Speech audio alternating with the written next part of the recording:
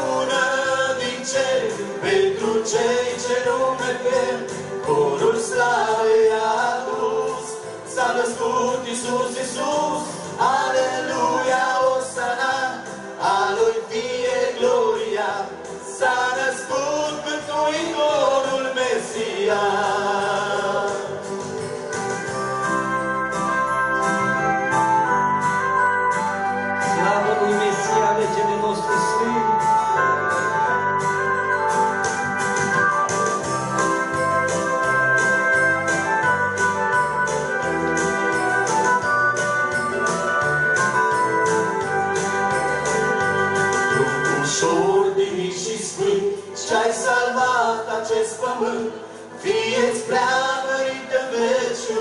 iubirea ta.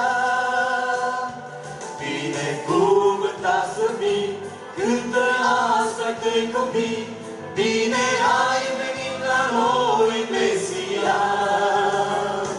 Vestea bună din cer, pentru cei ce lume pierd, Corul stare a adus, s-a născut Iisus, Iisus, Aleluia, Osana, a Lui Fiu.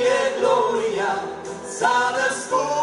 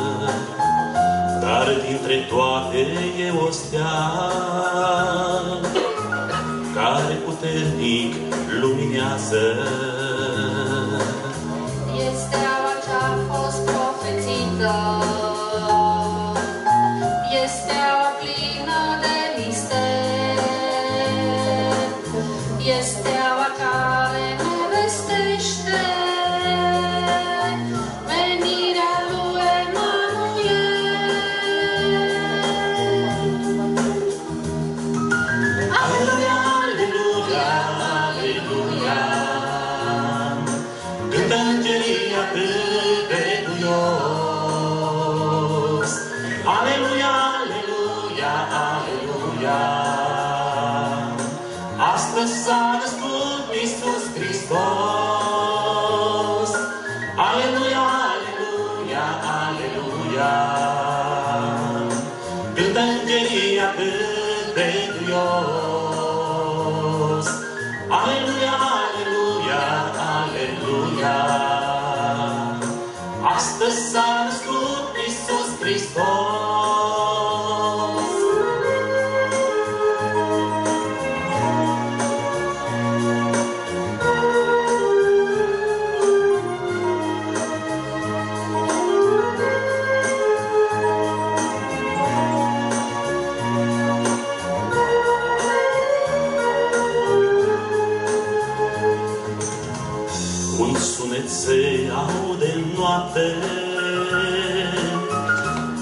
păstorii se uimesc,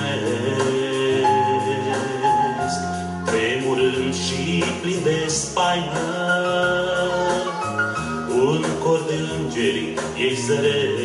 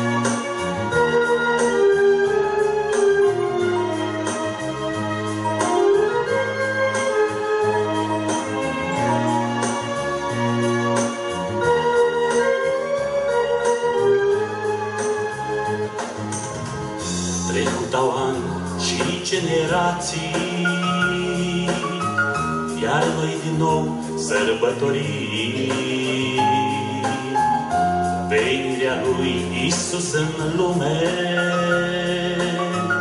Venirea pruncului divin. Și astăzi este sărbătoare. Și ascolindul mai răsună. Și astăzi sunt cei care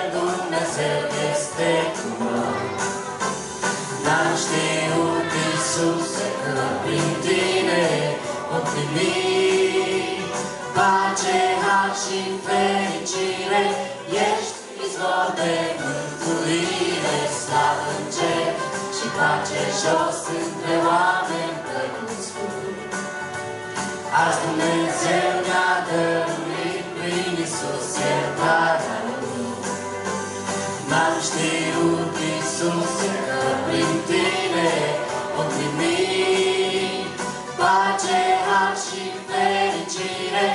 Ești izvor de mântuire, slavă în cer și pace jos între oameni căruți buni. Azi Dumnezeu ne-a dăruit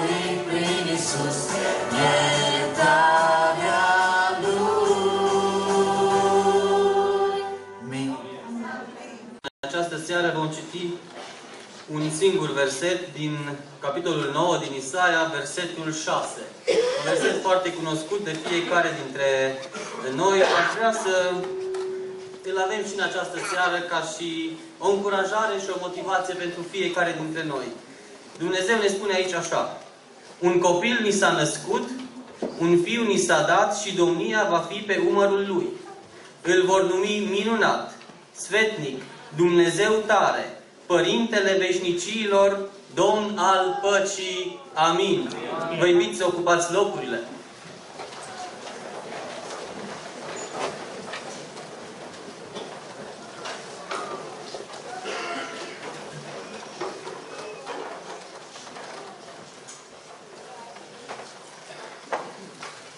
Sunt sigur că ați auzit acest verset de multe ori.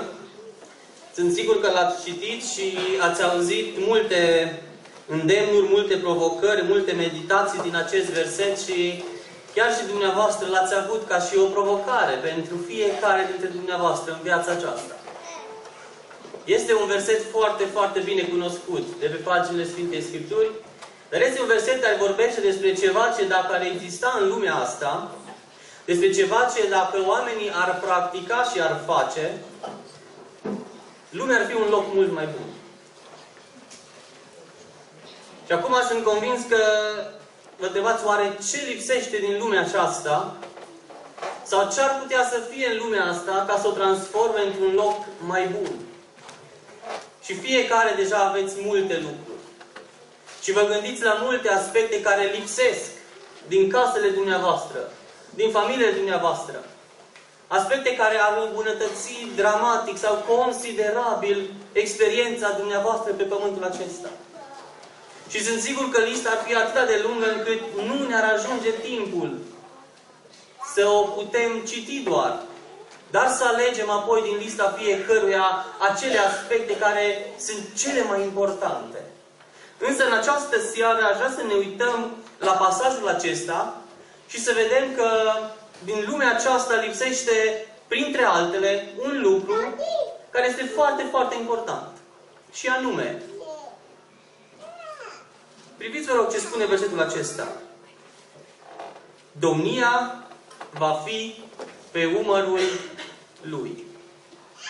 Pe a cui umăr se pune domnia?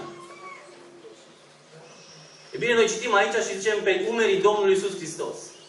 Dar în viața noastră de zi cu zi, în viața noastră pe pământul acesta, pe umerii cui este așezată responsabilitatea cârmuirii și a conducerii? Biblia spune că un lider, un conducător, un domnitor s-a dat umanității.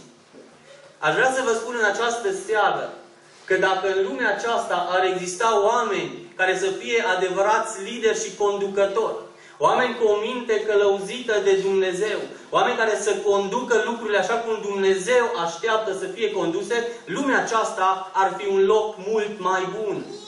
Și acum putem să întrebăm, dar mie nu mi-a fost dat să fiu un lider. Mie nu mi-a fost dat să fiu un conducător. Mie nu mi-a fost dat să fiu un om cu nume în lumea aceasta. Mie mi-a fost dat să fiu un om de rând, un om normal. Priviți, vă rog, ce spune versetul acesta, căci un copil s-a născut. Un fiu s-a dat. Din aceste două lucruri normale se naște un adevărat conducător. Și nu acestea îl definesc pe el, Poate te gândești, sunt dintr-o familie modestă, dintr-o familie nesignificativă, dintr-o familie care nu prezintă importanță. Domnul Isus Hristos nu s-a născut într-un palat, nu s-a născut într-un context de lideri, nu s-a născut într-un mediu în care a beneficiat de, de, de vorbitor de, de dezvoltare personală, de uh, discursuri motivaționale, nu a beneficiat de așa ceva. Și cu toate acestea, Biblia spune că domnia va fi pe umerii lui și el va fi un lider, un conducător. Dragii mei, aș vrea să vedem în această seară câteva lucruri care definesc un conducător, un om care definește destinul, un om care conduce și călăuzește alții din perspectiva lui Dumnezeu.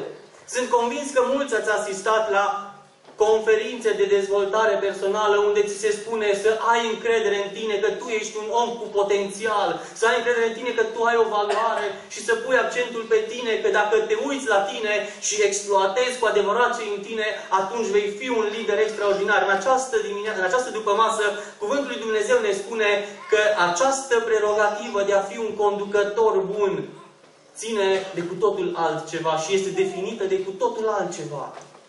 Priviți, vă rog, câteva lucruri care îl caracterizează pe Domnul Isus Hristos ca fiind un exemplu de conducător în lumea aceasta, un exemplu de urmat pentru toți cei care vor să aducă un bine, un plus, un pic de pozitivism în lumea aceasta.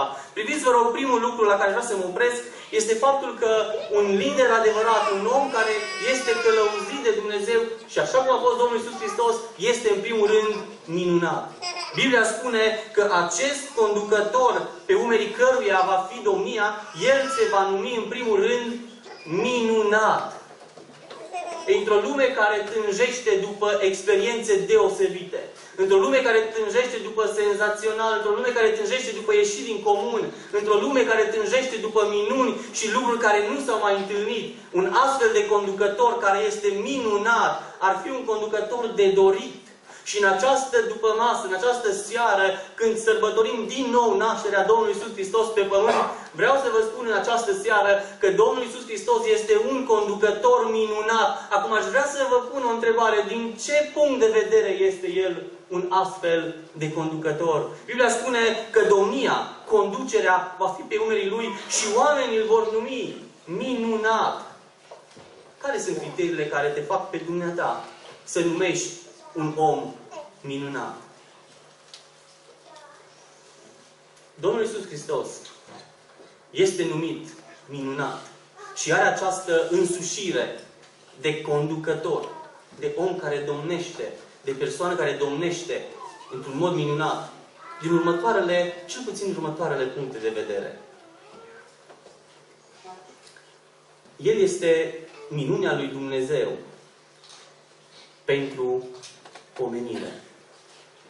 El este minunea lui Dumnezeu dată fiecare dintre noi, umanități întregi, și El este minunea lui Dumnezeu pentru că El a avut parte de o întrupare și de o minune a întrupării. Aș vrea să citim câteva versete în această dupămasă din Ioan, capitolul 1, versetul 14. Priviți, vă rog, ce spune cuvântul lui Dumnezeu acolo despre, despre această întrupare a Domnului Isus Hristos. La Ioan, la capitolul 1, versetul 14, cuvântul lui Dumnezeu spune așa, Cuvântul s-a făcut trup, a locuit printre noi plin de har și noi am privit slava Lui, o slavă în, în tocmai ca slava singurului născut din Tatăl.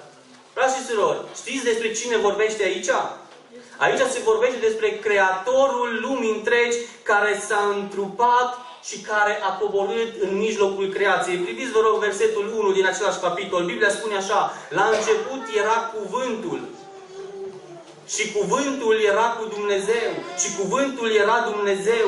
El era la început cu Dumnezeu și versetul 3. Toate lucrurile au fost făcute prin El și nimic din ce a fost făcut n-a fost făcut fără El. Și acum, dacă citim din nou versetul 14, aș vrea să ne gândim la faptul că această persoană despre care se spune că domnia va fi pe umerii Lui și va fi numit minunat.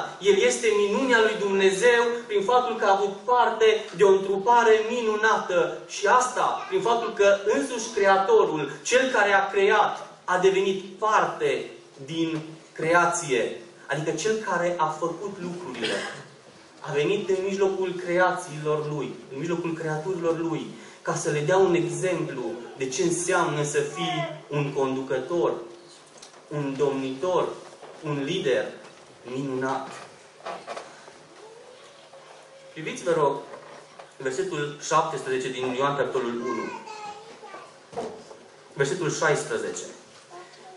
Și noi toți am primit din plinătatea Lui și har după har.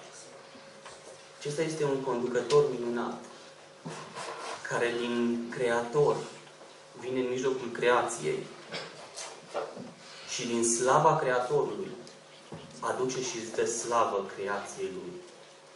Nu este un creator, nu este un domnitor, nu este un stăpânitor care doar trage, doar trage de la cei asupra căruia se pus să domnească, ci este un creator minunat prin faptul că are parte de o întrupare minunată și vine cu slava creatorului și o împarte fiecăruia dintre cei creați de El. Aș vrea să vă întrebați în această după masă, mai este un astfel de lider? Mai este un astfel de conducător care să ia din slava creației, din slava Creatorului și să împartă cu cei peste care cârmuiește? Haideți să mergem mai departe. Biblia spune că El va fi numit minunat. Mai este încă un lucru aici. El, Domnul Isus Hristos, cel pe umerii căruia se va afla domnia, este numit minunat și de, din, datorită faptului că El este minunea revelării lui Dumnezeu pentru fiecare dintre noi. Și aici vom putea să stăm să ne gândim, dar Dumnezeu nu s-a mai revelat până acum niciodată, până la întâlparea lui Isus, n-a mai avut parte de revelația lui Dumnezeu pe pământ? Păi, ba da, am avut parte de revelație. Și ne gândim la oameni pe cum Avram, căruia Dumnezeu a zis, Avrame, uite, lasă tot și vino după mine. Ce om ar fi renunțat tot dacă n-ar fi avut parte de o revelație deosebită din partea lui Dumnezeu? Ne gândim la un om ca și Ilie care zice, adunați tot preoții cei mai de seama lui Balcea la Sartei, adunați pe toți pe muntele acesta. Ce om ar fi putut să se ridice și să zică toți să vină aici și fiecare să aducă câte o jertfă Dumnezeului lui și fiecare să se roage, să închine Dumnezeului lui și acela care va fi ascultat de Dumnezeu, acela va fi numit preot al Dumnezeului celui viu. Crezi că Ilie s-a ridicat în puterea lui fără să aibă parte de o revelație specială din partea lui Dumnezeu? Cu siguranță Ilie a avut parte de revelație din partea lui Dumnezeu și Moise s-ar fi dus la Faraon, la conducătorul lumii din vremea aceea și să zică Faraon, ascultă de mine cel care am păstorit uh, turma socrului meu, ascultă tu de mine și lasă poporul acesta să iasă. Crezi că Moise s-ar fi ridicat în puterea lui fără să aibă parte de o revelație specială din partea lui Dumnezeu? Toți oamenii aceștia Toți au avut parte de o revelație specială din partea lui Dumnezeu și au putut să stea de vorbă cu Dumnezeu. Însă odată cu întruparea, odată cu revelarea lui Dumnezeu pe pământ, modul în care Dumnezeu se descoperă oamenilor trece la o altă dimensiune și la un alt nivel. Și știți ce se întâmplă în momentul acesta? Era acolo Domnul Iisus Hristos în mijlocul cărturarilor și al oamenilor înțelepți din vremea aceea și rostea și el cuvintele pe care Dumnezeu le-a spus, rostește-le poporului aceste cuvinte. Și Domnul Iisus Hristos rostea cuvintele lui Dumnezeu pentru oameni și vin oamenii la, la, la cei educați din vremea aceea, la cei care le, le, le tălmăceau legea și le spune, nu știu ce se întâmplă, nu știu care este diferența între voi și El, însă modul în care El îl revelează pe Dumnezeu este diferit de modul în care voi îl prezentați pe Dumnezeu. Am auzit despre Dumnezeu de la voi de atât atâtea ori, ni l-ați prezentat într-un mod atât de frumos, însă când îl ascultăm pe omul acesta, când El ne descoperă pe Dumnezeu, El o face altfel decât o faceți voi. El o face plin de putere. Frașilor, din momentul în care Domnul Iisus Hristos a început să vorbească, El a început să-L descopere pe Tatăl într-un mod în care oamenii nu L-au cunoscut până atunci. Niciunul din vremea aceea n-a avut parte de revelație din partea lui Dumnezeu, așa cum au avut-o oamenii prin Domnul Iisus Hristos. Și aș vrea să vă aduc în atenție aici câteva lucruri. Oamenii mergeau după Domnul Isus Hristos pentru că spune uh, Ioan la capitolul 6, versetul 26, pentru că au primit mâncare de la El și le-a săturat viața și pentru că ei s-au ocupat de nevoile lor și oamenii mergeau după El. Însă câteva versete mai jos, la, la, la versetul 48 din același capitol, el este singurul care se ridică și zice, Eu sunt pâinea vieții. Niciun altul n-a mai zis așa ceva până atunci și oamenii n-au avut parte de revelație de genul acesta din partea lui Dumnezeu. Și dacă mergem mai departe la Ioan capitolul 7, versetul 37, același Iisus stă în fața oamenilor și le spune un lucru foarte, foarte interesant. În ziua de pe urmă, care era ziua cea mare a praznicului, Iisus a stat în picioare și a strigat, dacă însetează cineva să vină la mine și să bea. A mai zis cineva, a mai zis cineva în vremea aceea, eu sunt apa vieții, a mai zis cineva că acela care va gusta din apa pe care o dau eu, din inima lui vor țâșni râuri de apă vie, așa cum ei deja cunoșteau lucrurile acestea? În momentul în care Domnul Iisus Hristos s-a ridicat și a rostit aceste cuvinte, deja oamenii au înțeles, asta este minunea revelării lui Dumnezeu pentru noi și mai găsim încă câteva, câteva aspecte de genul acesta într-un context în care nimic nu era sigur. Totul era sumbru, totul era negru, erau sub oprimare și erau sub, sub, sub, sub jugul roman, nu vedeau ei lumină, nu vedeau ei soarele așa cum și-ar fi dorit să-l vadă, într-un context al întunericului și al nesiguranței, când stăteau totdeauna cu sulița și cu sabia romanilor în coaste, Domnul Iisus Hristos se ridică și la, la, la Ioan capitolul 8, versetul 12, le spune o afirmație care i-a șocat pe toți și nimeni n-a înțeles ce vrea să spună și spune acolo, Eu sunt lumina lumii. Într-o lume plină de întuneric, într-o lume plină de confuzie, într-o lume în care nu există o direcție și orientare clară, care lider, care conducător s-a mai ridicat și să zică Eu sunt lumina lumii. Și dacă citim primul capitol din Ioan, găsim acolo faptul că lumina a venit în lume și oamenii au văzut lumina, dar nu au vroit, nu au vrut să meargă în lumină. Dragii mei, mai sunt încă câteva versete, multe, de fapt, pe paginile Sfintei Scripturi, însă una dintre, una dintre cele mai importante, care ar trebui să fie și este o încurajare pentru noi, niciunul dintre cei din vremea lui, liderii din vremea lui, nu s-au ridicat să spună Eu sunt păstorul cel bun, care își dă viața pentru voi. Nici unul dintre cărturari Niciunul dintre cei din fruntea poporului, niciunul dintre cei care îl prezentau pe Dumnezeu oamenilor, niciunul nu s-a ridicat să spună Eu sunt păstorul cel bun, eu sunt acel conducător care stau în, în fața voastră și sunt gata să-mi dau viața pentru voi, cei care sunteți după mine și pentru care eu am grijă. Singurul care a putut să zic așa este Cel pe care Biblia îl numește minunat, pentru că El este minunea revelării lui Dumnezeu pentru fiecare dintre noi. Fraților, mergând mai departe în acest verset pe care l-am citit aici, găsim încă un lucru. Găsim încă un lucru pentru care Domnul Isus Hristos este numit minunat și anume, și anume, faptul că El este Cel care aduce pentru fiecare dintre noi pentru fiecare dintre cei care trăiesc sau vor trăi pe pământul acesta, aduce minunia iertării din partea lui Dumnezeu. Pe vremea aceea, pe vremea Domnului Isus Hristos, ei vorbeau despre faptul că printr-o jertfă, printr-un sacrificiu de animal poți să fii curățat, poți să fii iertat, poți să fii eliberat. Însă Biblia spune că an de an oamenii aduceau aceleași jertfe. De ce? Pentru că conștiința lor era încărcată, trupul era curățat, dar mintea, Gândurile, conștiința lor era încărcată de povara care apăsa asupra lor din cauza faptelor mai puțin bune pe care le făceau. Și oamenii din vremea aceea nu au putut niciunul să se, zică, să se ridice să zică eu sunt cel care aduc minunia iertării pentru fiecare dintre dumneavoastră. Și aș vrea să citim câteva, câteva lucruri care fac acest, acest aspect cu adevărat minunat. Pentru că sunt câteva lucruri care îl definesc ca fiind minunat. Aș vrea să citim de la 1 Ioan, capitolul 4, versetul 9 și versetul 10. Priviți, vă rog, în ce condiții, în ce condiții a venit minunia iertării pentru oameni într-un context când oamenii erau foarte mari căutători de Dumnezeu, într-un context când oamenii erau foarte doritori să se întâlnească cu Dumnezeu, Biblia zice așa, dragostea lui Dumnezeu față de noi s-a arătat prin faptul că Dumnezeu a trimis în nume pe singurul Său Fiu ca noi să trăim prin El și acum. Și dragostea aceasta s-a arătat față de noi și stă nu în faptul că noi l-am iubit pe Dumnezeu. Asta face minunea iertării în viața, în viața fiecăruia dintre noi să fie deosebită.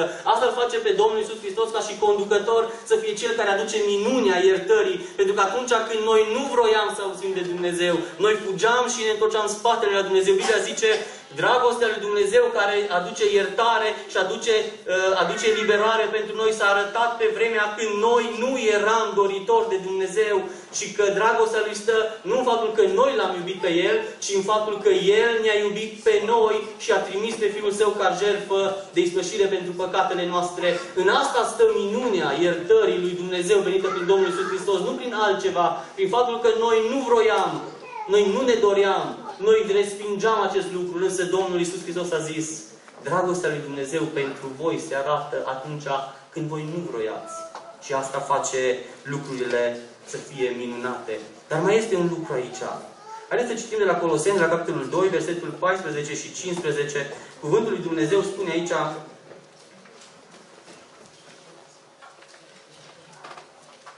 că prin jertfa Lui El a șters zapisul cu poruncile care stăteau împotriva noastră. Zapisul care era potrivnic și l-a nimicit pironindu-l pe cruce și priviți mai departe, a dezbrăcat domniile și stăpânirile și le-a făcut de ocară înaintea lumii după ce a ieșit biruitor asupra lor prin cruce. Dragii mei, frați și surori, sunt aici câteva lucruri. În primul rând, faptul că această minune a iertării este de plină. N-a șters doar două, trei rânduri de pe zapisul acela cu poruncile care înseamnă împotriva noastră. Nu a șters-o pe cea mai gravă și pe a doua cea mai gravă și a zis cu celelalte te descurci, mă descurc, că te poți să le faci tu cum trebuie. A zis că a șters zapisul cu toate poruncile. Și mai este acolo un lucru foarte, foarte interesant. A transformat această minune a iertării de care ai beneficiat de care a beneficiat el, de care a beneficiat dumneata, într-un mod de viață al fiecăruia dintre noi. Priviți, rog, la Matei, capitolul 6, versetul 12. E un verset pe care toți din locul acesta, sau 90% din locul acesta îl știți. Îl știm. Și zice aici așa. Și ne iartă nouă greșelile noastre cum? Precum și noi iertăm greșiților noștri. Asta este minunea lui Dumnezeu prin Domnul Isus Hristos. De asta poate omul lui Dumnezeu să zică aici, numele Lui va fi minunat, pentru că El va aduce minunea iertării pentru fiecare dintre noi și va face din acest lucru un mod de viață și vom putea să spunem și ne iartă pe noi și mă iartă pe mine, la fel cum și eu îl iert pe cel de lângă mine. Și în pilda, într-una dintre pildele Domnului Isus Hristos a spus așa, un om avea doi datornici unul datora mulți, mulți, mulți bani, altul mai puțin. Și pe unul, pe cel care îi datora mulți, l-a iertat de toată datoria lui.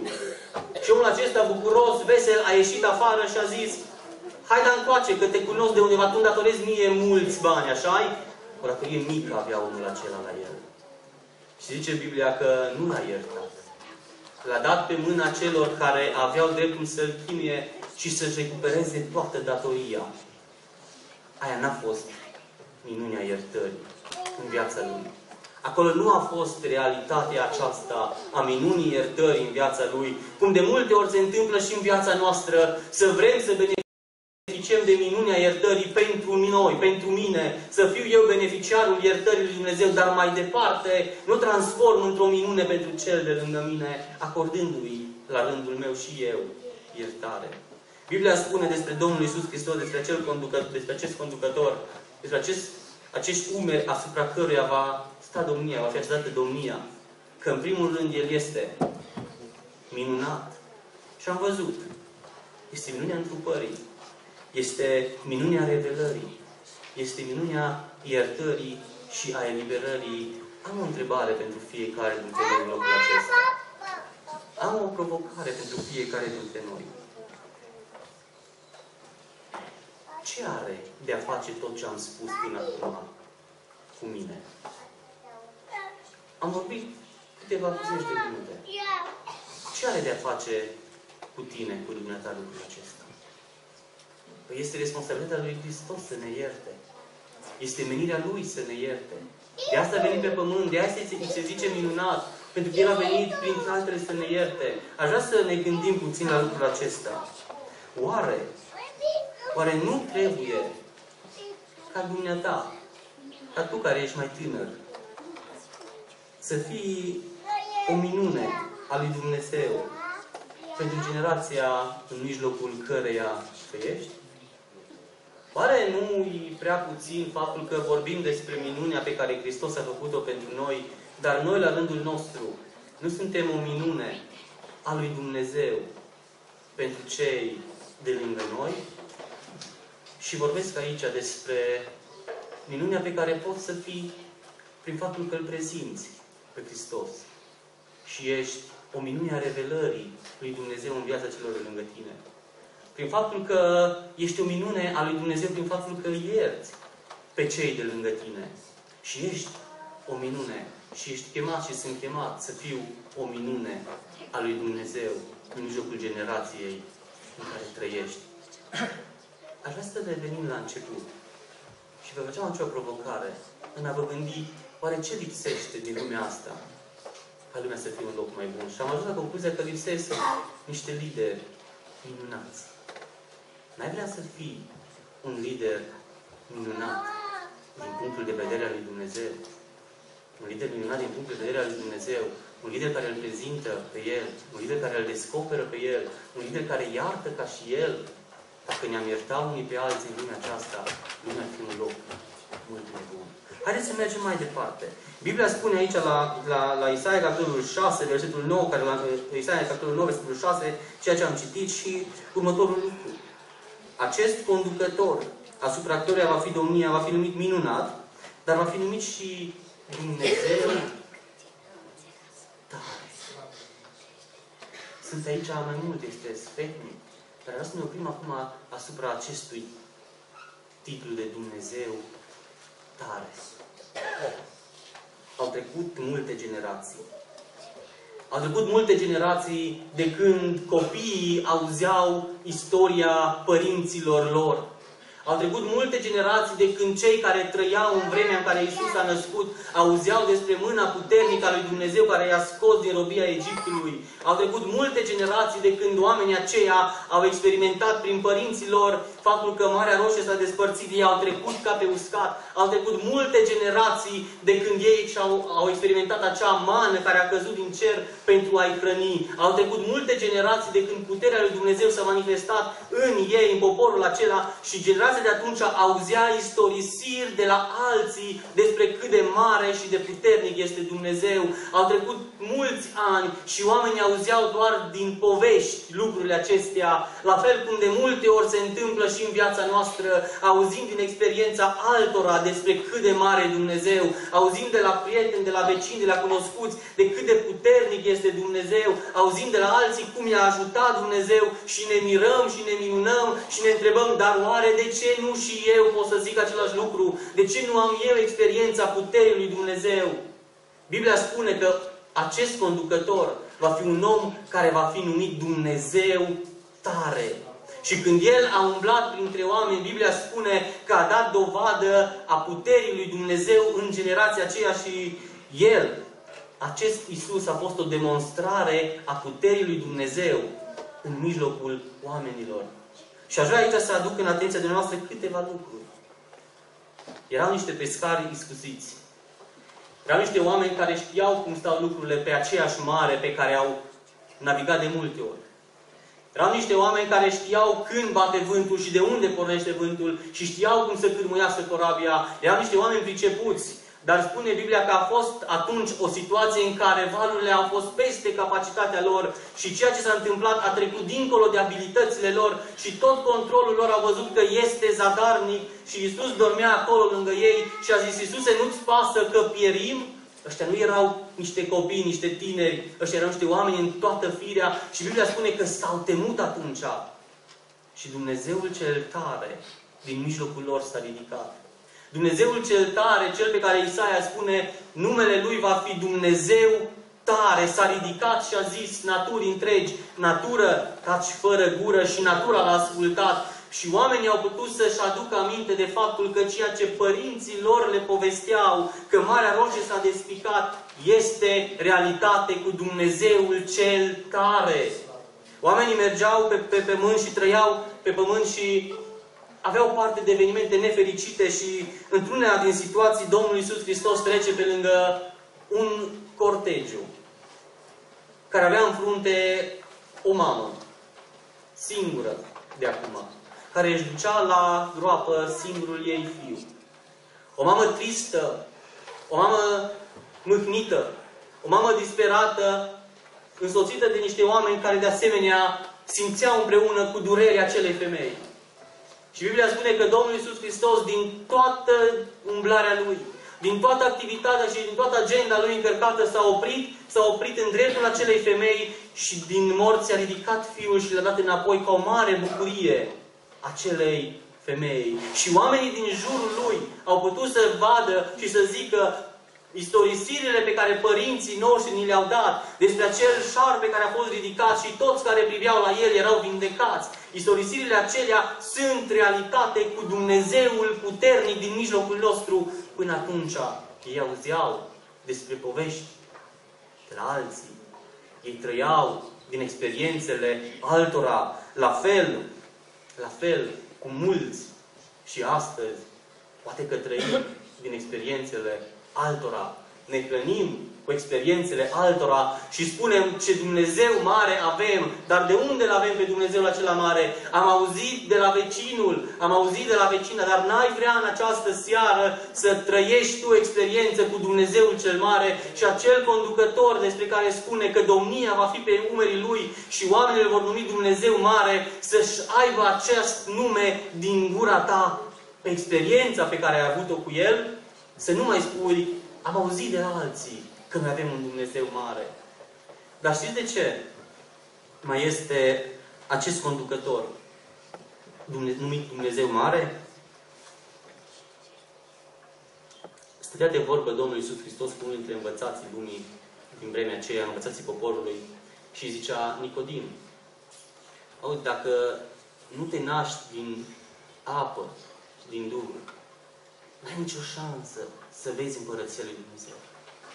Și Nicodim, om cu experiență, Nicodim, om cu, cu maturitate și cu cunoștință în ale Scripturii, zice, dar cum este posibil ca eu, om bătrân, să intru din nou în pântecele mamei și să mă nasc din nou? Om cu experiență punea întrebările acestea și Domnul Iisus Hristos îi zice, Nicodim, nu despre asta e vorba. Nicodim este vorba despre o transformare a vieții fiecărui om. Dacă nu are loc o minune a transformării în viața ta, cu niciun chip nu vei vedea împărăția lui Dumnezeu. Cum adică? Dacă sunt un om moral, integru, bun, generos, darnic, milos, plin de bunătate și de îndurare, nu voi vedea împărăția lui Dumnezeu dacă nu are loc o transformare în viața mea, dacă acest prunc care se naște, care mi s-a dat, acest fiu care mi s-a dat, nu devine Dumnezeu tare, Dumnezeu mare în viața mea, n-am nicio șansă. Și Nicodim a înțeles într-un final că acest conducător este numit Dumnezeu tare, este numit Dumnezeu puternic, pentru că El este singurul care poate să facă o transformare și aducă o minune a transformării vieții în viața unui om. Oricine poate să se chinuie, să se, să se, să, să, să aducă orice efort, să depună orice efort, să încerce pe, să schimbe pe altcineva. Putem să ne străduim cât vrem să schimbăm modul de gândire, comportamentul. Putem să ne străduim cât vrem. Pentru că singurul care schimbă viața unui om, singurul care are putere și are această capacitate să facă o transformare în viața unui om este Cel care este numit Dumnezeu tare. Doar El. Și Biblia spune despre aceste lucruri și noi înțelegem faptul că într-un moment în care te întâlnești cu El, oricine ai fi, și Biblia spune că era o femeie care mergea să scoată apă de la fântână, a cărei viață nu putea să fie înțeleasă de cei din jurul ei. A avut o întâlnire cu Domnul Isus Hristos, a avut o întâlnire cu Dumnezeul tare și puternic și în momentul acela, femeia aceea s-a dus în satul ei și a zis, haideți să vedeți pe Cel care este Mesia. De ce s-a putut face asta? N-aveau acolo sinagogă? Aveau. Și n-a putut sinagoga să schimbe viața? Nu, n-a putut. N-avea acolo programe peste săptămână, cum zicem noi, că de biserică? Ba, aveau. Și n-au putut alea să schimbe viața? Nu, n-au putut. Păi n-au avea acolo preoți, n-avea acolo păstori, n-avea acolo slujitori, n-avea acolo grup de laudă și închinare, n-avea acolo cântăreți, ba, aveau. Și, și n-a putut să schimbe viața? Nu, nu a putut să schimbe viața. Pentru că în momentul în care te întâlnești cu Cel pe umerii căruia se află domnia, Cel care este numit Dumnezeu tare, atunci se produce minunea schimbării vieții și nu în alte contexte și nu în alte împrejurări. Oricât de frumos am predicat, oricât de puternic și de articulat ar fi mesajul, oricât de armonioasă ar fi cântarea și de perfect ar fi execuția cântării, cântarea, predica, poezia nu schimbă viața omului. Singurul lucru care schimbă viața omului este Duhul Sfânt al lui Dumnezeu și atât. Și ca să poți să ai o viață schimbată, trebuie să se întâmple minunea transformării atunci când te întâlnești cu Dumnezeu cel puternic și nu altfel, nu altcumva. Și Biblia spune despre acest lucru în ceea ce am citit, dar aș vrea să fac încă o provocare în această seară. Am vorbit aici despre faptul că Dumnezeu este tare, este numit Dumnezeu puternic, Dumnezeu tare. Și ce are de a face asta cu mine, astăzi, aici, sau mâine, când voi ieși din casă și voi merge la serviciu sau unde voi merge? Este prerogativa lui Dumnezeu să-și exercite puterea, dar oare? Aș vrea să vă fac o provocare. Pare, nu trebuie ca eu să fiu o unealtă prin care Dumnezeu să-și manifeste puterea în mijlocul generației mele? Trebuie să mă rog doar, Doamne, manifestă puterea, Doamne, fă aia, Doamne, cu tare, Doamne, cu tare? Sau Dumnezeu mă va alege pe mine, Dumnezeu te va alege pe tine ca să-și manifeste puterea în viața celor de lângă dumneata, celor de lângă tine? Și Biblia spune încă un lucru asupra care vreau să mă opresc, și anume că acest lider acest conducător va fi numit și Domn al păcii.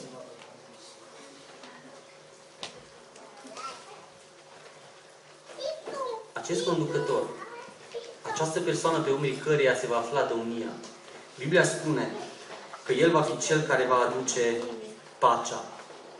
Dar cu cine avem noi conflict? Cu cine nu trăim noi în pace? Cine este Cel care este dușmanul nostru? Cine este Cel care trebuie să relegăm legăturile, să refacem relația? Și cum putem să facem acestea? Haideți să citim un verset din uh, Roman, capitolul 4, versetul 24 și 25. Priviți, vă rog, ce spune Cuvântul lui Dumnezeu aici. Este scris și pentru noi, cărora de asemenea ne va fi socotită nouă, celor ce credem în Cel ce a înviat din morți pe Iisus Hristos, Domnul nostru, care a fost dat din pricina fără de legilor noastre și a fost înviat din pricina că am fost socotiți, neprihăniți și priviți, vă rog, versetul următor, acum, din capitolul următor. Și acum, deci fiindcă suntem socotiți neprihăniți, prin credință avem pace cu Dumnezeu. Cel pe umerii, umerii cărora se află domnia este cel care aduce pace cu Dumnezeu. Este cel care aduce pace oferind o nădejde. Și este un pasaj pe care dumneavoastră îl cunoașteți foarte bine în Testamenticeni, acolo, care este citit la evenimente mai puțin plăcute nouă. Dar acolo vorbește despre nădejdea pe care Dumnezeu o dă celor care au experimentat o relație cu Hristos. Se vorba de nădejdea revederii, nădejdea părtășiei, nădejdea întâlnirii cu Isus Hristos. De ce? Pentru că toate acestea sunt posibile pentru că domnia va fi pe umerii unui lider care va fi minunea lui Dumnezeu pentru omenire. Pe umerii unui lider care va fi cel care este o demonstrare a puterii lui Dumnezeu în omenire. Și pentru că domnia va fi pe umerii celui care va aduce pace în omenire cu Dumnezeu. Și aș vrea să închei printr-o ultimă provocare în această seară pentru fiecare dintre noi. Oare nu ar trebui ca eu și dumneata să fii o oază de pace într-o lume fără de nădejde? Am vorbit despre aceste lucruri pe care Biblia ne le descoperă în acest pasaj. Despre cel care este numit minunat. Despre cel care este numit Dumnezeu tale. Despre cel care este numit Domn al păcii. Aș vrea dacă din tot ceea ce am spus lucrurile se duc, se șterg să rămânem fiecare dintre noi cu aceste trei provocări pe care aș vrea să le repet încă o dată la final. Provocări care au de-a face cu noi, cu fiecare dintre noi. Sunt actuale și sunt pentru fiecare. Și anume, oare nu ar trebui ca eu să fiu o minune a lui Dumnezeu pentru generația în care trăiesc? Oare nu ar trebui ca eu să fiu o unealtă prin care Dumnezeu își manifestă puterea în generația în care trăiesc? Și oare nu ar trebui să fiu eu o oază de pace într-o lume fără nădejde? Haideți să ne gândim la lucrurile acestea. Cu ocazia acestor sărbători, așa că Dumnezeu să ne binecuvinteze pe fiecare. Și m-am bucurat foarte mult în noaptea care a trecut. Că am auzit și am primit colindători. Aș vrea Domnul să vă binecuvinteze pe toți cei care v-ați ostenit și ați făcut o bucurie mare mie, soției mele, dar și celui micuț, care, deși încă nu înțelege, s-a uitat cu ochii mari la fiecare dintre dumneavoastră și o să-și aducă el la minte, probabil, probabil vreodată mai încolo. Domnul să vă dea sănătate, să vă dea putere și binecuvântare. Amin.